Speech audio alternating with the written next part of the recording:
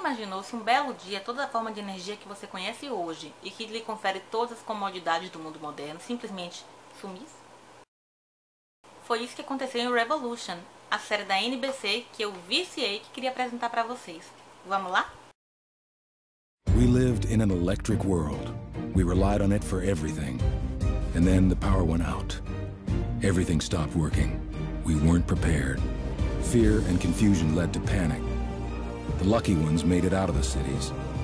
The government collapsed. Militias took over, controlling the food supply and stockpiling weapons. We still don't know why the power went out, but we're hopeful that someone will come and light the way.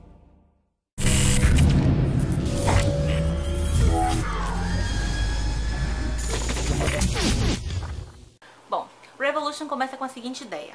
As formas de energia conhecidas simplesmente desapareceram no evento chamado Blackout, original, né? Então, o Blackout foi o apagão que aconteceu nos Estados Unidos e as pessoas simplesmente se viram de uma hora para outra obrigadas a se adaptar a essa nova realidade. A gente vê esse acontecimento e aí tem um salto de 15 anos. 15 anos depois, nós descobrimos que as pessoas tiveram que voltar para o campo, porque as milícias, os grupos armados e, e, violentos tomaram conta das cidades. Elas tiveram que voltar para uma forma de vida bem rústica, né? morando em vilas, plantando, colhendo, sem nenhum tipo de é, artefato ou é, tecnologia moderna.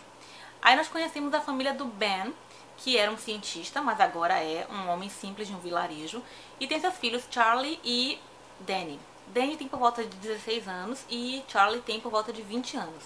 A mulher de Ben, Rachel, que também era cientista, é morta e ele hoje vive com Maggie, uma inglesa que acabou por percalços no caminho indo parar nos Estados Unidos. Vale lembrar que o Revolution se passa nos Estados Unidos, mas ele não tem mais esse nome. Vou mostrar para vocês um mapinha de como é que ficou a nova configuração do território.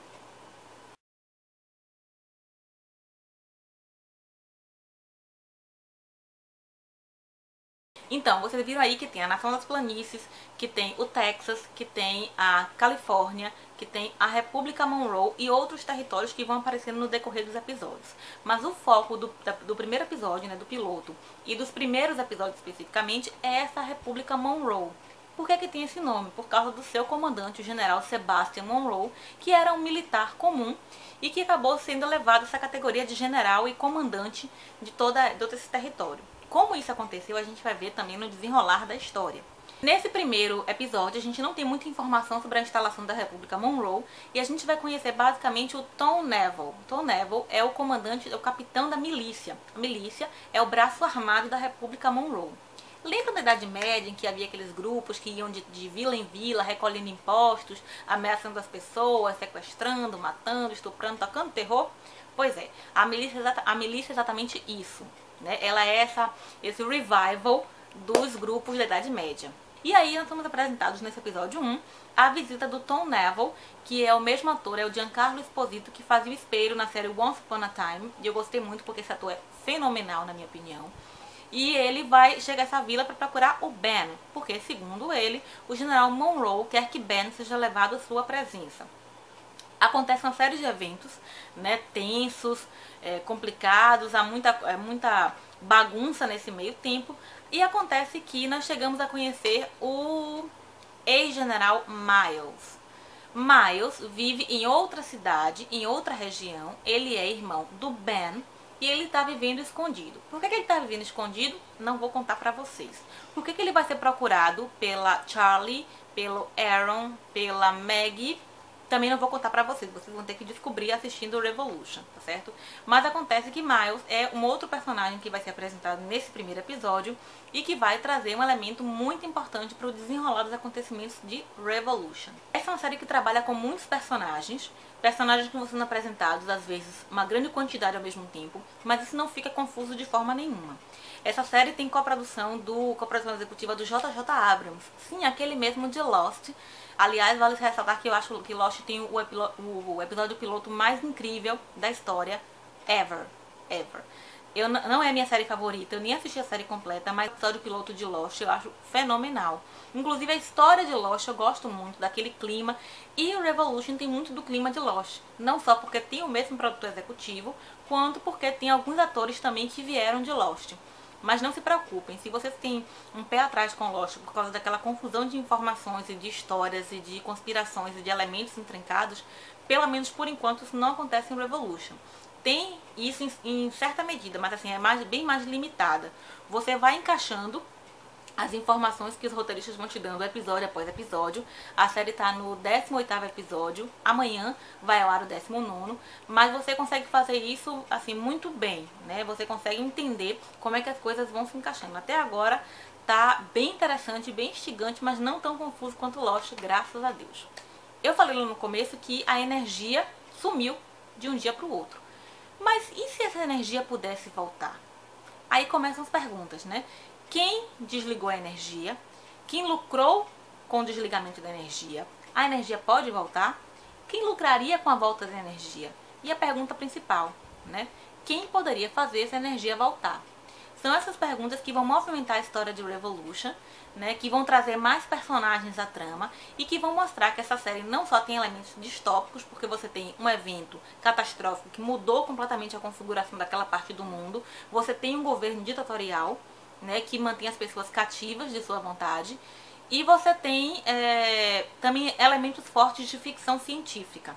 Isso a gente vai perceber mais lá para episódio 5, 6, se não me engano.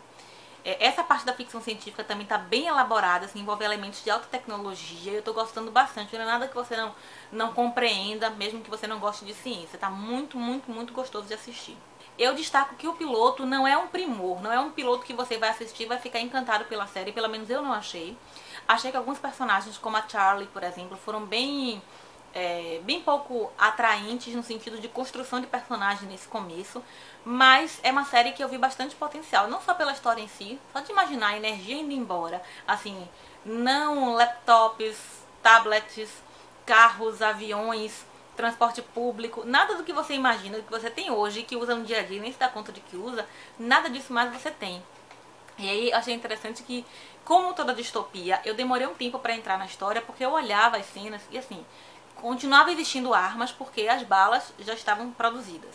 Só que as, as balas começaram a se tornar super raras porque você não tinha mais fábrica para produzir balas. E as pessoas tiveram que usar as armas existentes, né, as balas existentes, mas também se virar com arco e flecha, com balestra, com é, espadas, com facas. E era muito surreal ver os personagens andando com espadas medievais enfiadas no cinto, né? Com arco e flecha, com aldravas de, de flecha pendurados na, nas costas. Era muito estranho isso. Era uma mistura, era uma coisa meio Senhor dos Anéis e épicos medievais num, numa, numa série que trazia alta tecnologia, que trazia características distópicas. Era muita informação misturada que eu levei uns dois episódios para conseguir ver aquilo com naturalidade, mas agora eu vejo, estou adorando e tô super fã, por isso que eu resolvi fazer o vídeo para vocês. Então é isso, eu não quero contar muita coisa, porque eu acho que se eu falar mais eu vou dar spoiler. Acho que essa série merece ser vista sem é, matar sem matar as surpresas que ela vai trazendo a cada episódio. Como eu disse, eu assisti até o episódio 18, que foi o da semana passada. Ela é exibida toda segunda-feira pelo canal NBC. Amanhã tem o episódio 19, que é o penúltimo, porque a série se encerra no episódio 20. Felizmente ela foi renovada para uma segunda temporada e eu fiquei muito feliz. E eu tô, tô assim, tô com alta expectativa para a season finale. O episódio 18 já teve um fechamento que foi digno de season finale. Eu tô imaginando o que, é que esses caras vão bolar pro 19 e pro 20 e o que, é que eles vão trazer também na, na próxima temporada, na segunda temporada. Como eu falei, o piloto não é um primor, mas eu acho que tem grande potencial essa série. Eu vi um crescimento muito grande da história dos personagens no decorrer né, dos, dos episódios. Gostei muito, os personagens amadureceram muito, os roteiristas pegaram realmente, é, pegam a gente de jeito nessa história. E eu super indico que vocês comecem a assistir Revolution né? Porque, inclusive, tem uma abertura linda, que eu não consigo... Geralmente eu, eu me canso das aberturas de série e vou pulando né, em cada episódio. Mas eu sempre assisto a de Revolution, tanto porque acho a narração muito boa e ele resume bem a história, a sinopse da série, quanto pela jogadinha do título, né? Que aparece, o Revo, primeiro aparece Evolution, né? Como se fosse um símbolo de computador, o O é um símbolo do, do Power, do computador e depois aparece o Rzinho do Revolution. E eu acho muito bacana essa discussão que eles, que eles fazem né, entre a evolução e a revolução. Porque, é, como eu falei, foi instituída a República Monroe, que é uma, é uma República, é, tem o nome de república, mas na verdade é uma ditadura. E o General Monroe é um doido completo. E é bem interessante porque o ator que faz o General Monroe é o David Lyons. Ele tem uma carinha de, de anjo, ele tem uns olhos azuis lindos, uns cabelinhos encaracolados, um pouco cebosos, mas encaracolados. E ele tem uma vozinha super mansa e ele é um sanguinário, um doido. É assim, quando ele surta e arregala aquele olho azul, é tem até medo. Apesar disso, eu ainda acho que o Tom Neville, que faz o capitão da milícia, que é o Giancarlo Esposito, talvez fosse um, vilão melhor ainda do que o General Monroe, e eu tenho expectativas de que ele seja, porque no decorrer dos episódios, alguns, algumas pistas foram sendo dadas de que Neville talvez não fique muito tempo como um submisso, como um subalterno ao General Monroe. Vamos ver o que, é que as coisas, como é que as coisas vão caminhando. Como eu disse, recomendo muito. Não se assustem, assim, porque o episódio piloto é um, não é tão forte quanto ele poderia ter sido, na minha opinião. Ele não é tão atraente assim. Afinal de contas, Arquivo X não tem o melhor, o melhor piloto ever e é uma série fantástica, né? É o meu exemplo sempre para séries que não tem um piloto incrível. Não se assustem com a Charlie, que quando sorri parece que tem mil dentes, né? E que é bem chata no primeiro episódio, porque ela cresce bastante e fica bem legal. Não se assustem com o cabelo do Miles, que parece que é inspirado no da Ana Maria Braga. Ignorem esses fatos, assistam Revolution, pensem nessa luta. Sim, eu tava falando, né, que o General Monroe é o general dessa república, que na verdade é uma ditadura, né? É um governo bem bem sanguinário, centrado e controlador. E é claro que existem os rebeldes, que são aqueles que querem restaurar os Estados Unidos. Né? E aí você vê bandeiras americanas esfarrapadas, poídas, escondidas em cantinhos, em gavetas, em compartimentos secretos.